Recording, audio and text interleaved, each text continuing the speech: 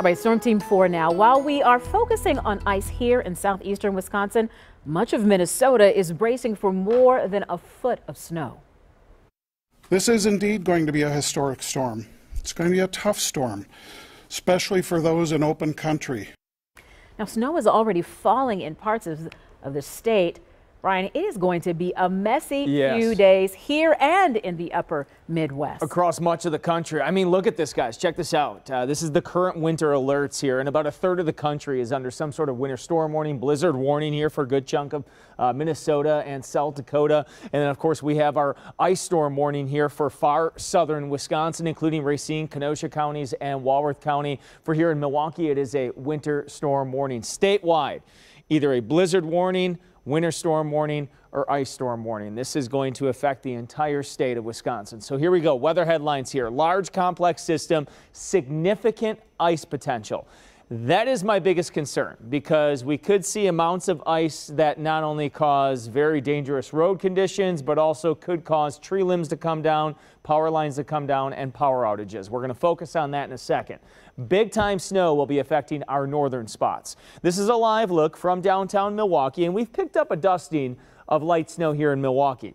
We're at 29 degrees, 3 degrees below the freezing mark. We are going to closely watch that temperature heading into tomorrow morning as we see heavier precipitation move in from the south. 31 in Kenosha, 25 right now in Fond du Lac. Snow continues mainly north of Milwaukee, coming down pretty good now up towards Washington and Ozaukee counties. Noticing a little darker blue here. Northern spots are definitely going to pick up enough snow that you'll probably want to get out there and do a little shoveling heading into tomorrow morning. As we go way out west, here is the main area of low pressure.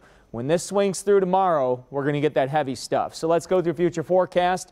A little break in the action early tomorrow morning, but then by 7, 8 o'clock, here comes that mix moving in from the south. And look at all of this pink here around noon. Most of the area seeing sleet and freezing rain. Snow continues to fly north. Look at 230 mainly sleet and freezing rain across the area. Then a transition back over to all snow across our northern spots. But then by tomorrow evening, this is a good sign maybe warm enough that it'll be just rain right along the lakeshore from Milwaukee to Racine and Kenosha. And then still a lingering wintry mix heading into Thursday morning. I think the worst of this storm system will be during the day tomorrow midday and into the afternoon. It's a 3 to 6 inch snow sleet combo for Milwaukee out to Waukesha, 6 to 12 inches north.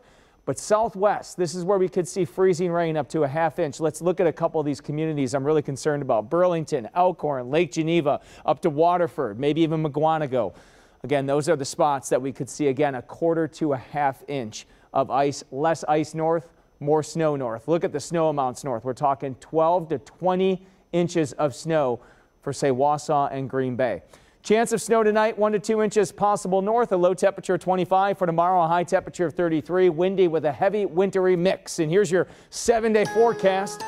Rain snow mix still possible Thursday, 36. Chillier on Friday, 23, 37 Saturday. The weekend looks good, 37 on Sunday. Here's your weather kid, Ashlyn.